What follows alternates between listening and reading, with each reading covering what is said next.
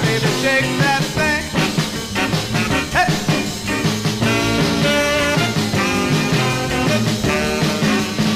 Now, put your hands on your hips.